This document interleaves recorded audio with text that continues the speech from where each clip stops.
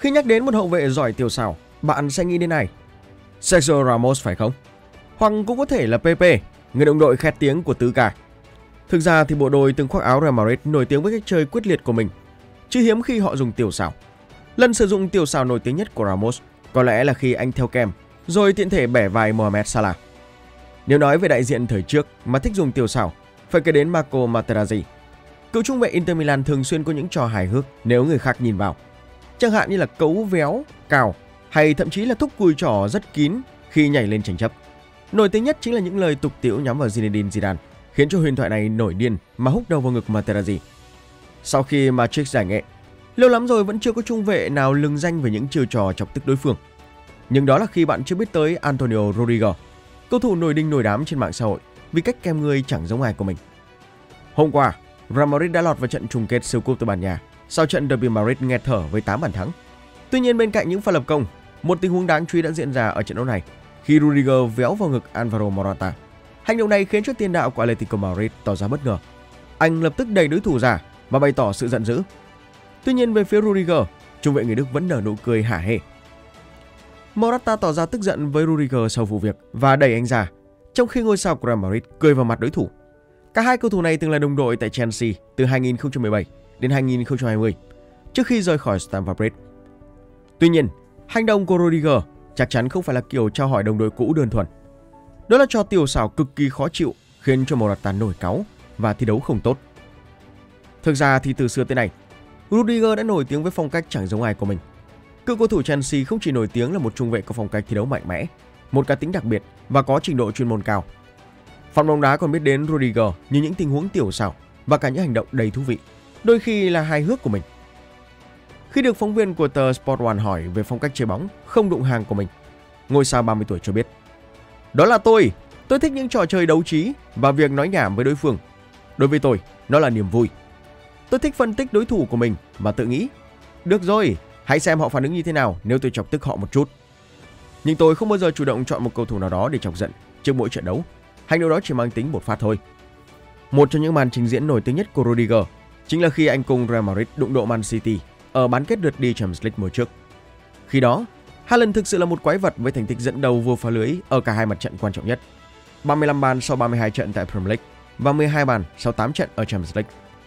Huấn luyện viên Pep Guardiola ngạo nghễ nói rằng: "Với Erling, ông biết Man City có thể ghi bàn ở mọi nơi." Nhưng kết thúc trận đấu, tờ Marca chỉ chấm cho Haaland 3 trên 10 điểm, thấp nhất trong các cầu thủ. Ngược lại, Rudiger nhận 10 trên 10 điểm vì thành công trong việc giữ Haaland im lặng. Trung vệ từng khoác áo Chelsea đã làm được điều mà không phải hậu vệ nào cũng làm được ở mùa giải trước, đó là bỏ túi chân sút người Na Uy. Một khoảnh khắc thú vị gói gọn cuộc chiến giữa Rudiger và Haaland diễn ra thế này. Rudiger cúi đầu dưới nách của Haaland, giống như cầu thủ bóng bầu dục lao vào tranh chấp với đối thủ. Khái niệm bắt chết trong phòng ngự được trung vệ người Đức định nghĩa lại. Sau đó, khi Haaland di chuyển cánh tay để cố gắng luồn lách thoát khỏi Rudiger, trung vệ của Real Madrid làm động tác tương tự, chỉ đơn thuần thay đổi cúi đầu từ dưới nách phải sang nách trái. Tiền đạo Man City bắt đầu khó chịu nhưng không thể làm gì hơn. Và bạn có tin không?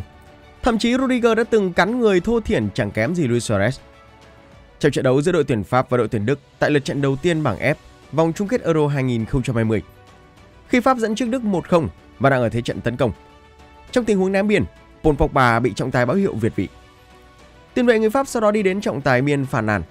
Tuy nhiên, Pogba không đề cập đến vấn đề việt vị mà đúng hơn là phàn nàn về cử chỉ tiểu xảo của Rudiger. Trong cuộc tranh chấp giữa hai cầu thủ, Rudiger bám sát phía sau Pogba, đẩy nhẹ, rồi dường như cắn vào lưng của đối thủ. Tiền vệ quẻ mù tỏ ra đau đớn và tức giận, liền phản ứng bằng cách nói bằng tiếng Tây Ban Nha với trọng tài. Trọng tài chính Carlos Dencero Grande đến giải thích điều gì đó với Pogba trước khi trận đấu tiếp tục. Sau đó, Tova cũng không can thiệp. Do đó, Rudiger không phải nhận bất kỳ án phạt nào sau hành động cắn Pogba. Trong phòng họp báo, Trang hậu vệ sinh năm 1993 khẳng định Đá với Pháp thì chơi tí tiểu xào cũng là chuyện buộc phải làm thôi. Dĩ nhiên, họ có những cầu thủ chất lượng ở tuyến trên. Vì vậy, chúng tôi phải sẵn sàng để giành chiến thắng trong các cuộc đấu tay đôi. Thậm chí phải có chút tiểu xảo vì chúng tôi không thể lúc nào cũng chơi đẹp hay lịch sự. Đối đầu với những ngôi sao như vậy, bạn phải nỗ lực hết mình để theo kèm họ như hình với bóng. Trên hành trình vô địch Champions League mùa 2020-2021, Chelsea của Rüdiger chỉ nhận hai bàn thua từ vòng knockout. Trong đó, khi chạm trán Man City ở trận chung kết, ngôi sao người Đức tỏa sáng với sức mạnh thể chất vượt trội, giúp anh khiến cho Kevin De Bruyne tắt tiếng. trên sân Estadio do Dragao, Bồ Đào Nha. De Bruyne phải rời sân do bị gãy xương mũi và hốc mắt do va chạm với Rudiger. Đó là một pha chủ động huých vào cực kỳ mà mãnh của cầu thủ quốc tịch Đức và De Bruyne bị đỏ ván luôn. Mất ngôi sao người Bỉ, Man City thiếu đi nguồn cảm hứng sáng tạo ở giữa sân, để rồi bị Chelsea đánh gục với bàn thắng của Kai Havertz. Phong cách chơi bóng của Rudiger lúc nào cũng quyết liệt. Hình ảnh cầu thủ này vào bóng có phần thô bạo với Inkay Gundogan vẫn đang được chia sẻ trên mạng xã hội. Đáng nói, Rudiger và Gundogan đều là những người Đức, từng sắm vai đồng đội ở đội tuyển quốc gia. Khao khát của Rudiger cũng là điều mà người hâm mộ dễ dàng cảm nhận được. Dù cho đối thủ là ai, cựu sao Chelsea đều bên cạnh khắc chế. Khi Chelsea đối đầu Zenit Saint Petersburg trên sân nhà Stamford Bridge, cựu tiền đạo của Barcelona, Mancom, được coi là niềm hy vọng của đội khách. Người có thể xuyên phá hàng thủ đội bóng áo xanh bằng tốc độ, khả năng dây bóng lắt léo bên cánh phải. Khi trận đấu mới diễn ra được 2 phút, Mancom vượt qua Marcos Alonso và đối mặt với Rudiger. Người sau đó cho cầu thủ người Brazil nằm đo đất bằng một cú sổ trước khi đưa ra một đường truyền dài chuẩn xác cho Mason Mount ở phía trên. Rudiger sau đó xoa đầu Mancom, một hành động bạn có thể coi là vui vẻ hay hạ thấp đối phương đều được. Cầu thủ người Đức luôn là vậy, khi cảm thấy đối thủ có một cá nhân khiến đội bóng đó tổn thương, anh sẽ ngay lập tức có hành động dằn mặt. Năm 2021, đụng độ Luis Suarez của Atletico, Rudiger bắt nạt đối thủ khiến cho tiền đạo người Uruguay chỉ trụ được chưa đầy một giờ trên sân. Nên nhớ rằng Luis Suarez chưa bao giờ là tiền đạo có lối chơi lịch lãm. Một cầu thủ luôn sở hữu chiêu trò, đầy những nghệ thuật hạc ám. Cũng trong trận gặp Atletico, trung vệ Stefan Savic bị truất quyền thi đấu vì thúc cùi trỏ vào ngực Rudiger. Kinh nghiệm chơi bóng nhiều năm dạy cho ngôi sao người Đức biết phải phản ứng thế nào trước những tình huống như vậy. Biểu cảm quan quại trên sân của Rudiger sẽ vấp phải nhiều sự chỉ trích, nhưng sau cùng, ai quan tâm khi người hâm mộ chỉ nhớ tới đội bóng chiến thắng cuối cùng? Vì thế, hành vi véo tì Morata có thể nói là rất phản cảm. Nhưng nếu biết thủ phạm là Rudiger, bạn sẽ thấy câu chuyện rất bình thường thôi. Vì phản cảm là nghề của Trang mà.